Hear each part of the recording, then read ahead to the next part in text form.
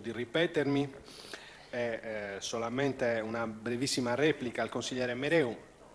Eh, dove sta il generale sta anche il particolare, quindi semplicemente prima eh, era stato individuato un ordine del giorno specificamente per l'aggiornamento del numerario relativo alla bis 3, adesso, ripeto, raccogliendo anche alcuni vostri suggerimenti che sono stati pertinenti, abbiamo esteso eh, la eh, verifica e lo studio per l'adeguamento a tutte quelle che sono eh, le aree oggetto di eh, corrispettivo anziché la realizzazione di parcheggio in cessione ad uso pubblico. Per cui eh, di fatto abbiamo reso in termini più generali quello che dovrà essere verificato, l'ha già detto il consigliere eh, che mi ha preceduto, è opportuno eh, ogni tot di anni fare delle verifiche anche rispetto a quelle che sono le esigenze della città e sappiamo tutti, soprattutto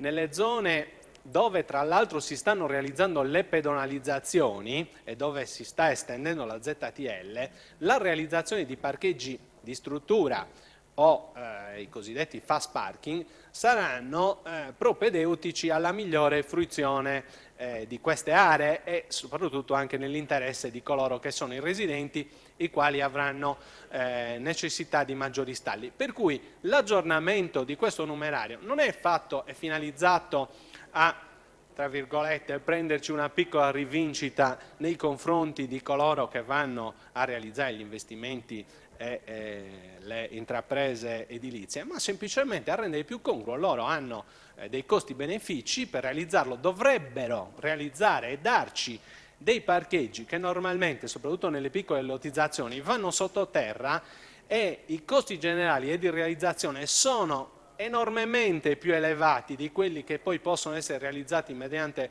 una realizzazione in struttura di grande dimensione. Tant'è vero che in quel famoso studio originario, nelle medie tra i minimi e i massimi, potrete anche voi, se avete occasione di guardarlo, rilevare che i costi maggiori sono proprio quelli sostenuti dai privati che tra l'altro avevano realizzato eh, investimenti edilizi anche di una certa dimensione. Per cui di fatto sarà sempre molto più conveniente pagare il, il numerario piuttosto che anche l'importo che verrà fuori dall'aggiornamento, ma per contro avremo la possibilità di avere una dotazione finanziaria adeguata rispetto a quelle che sono le esigenze della città e una miglior fruibilità delle aree cosiddette pedonali oppure di maggior intensità di traffico e commerciale. Per cui io credo che sia un, un buon passo in avanti e quindi mh, confermo insomma, la, la, la proposta dell'ordine del giorno.